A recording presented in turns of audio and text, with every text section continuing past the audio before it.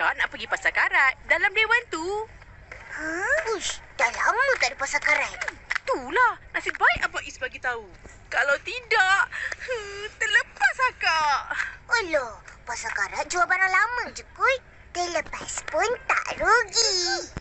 Eh, akak nak cari barang lama lah ni. Kau berdua, kena tolong akak. Tolong? Boleh.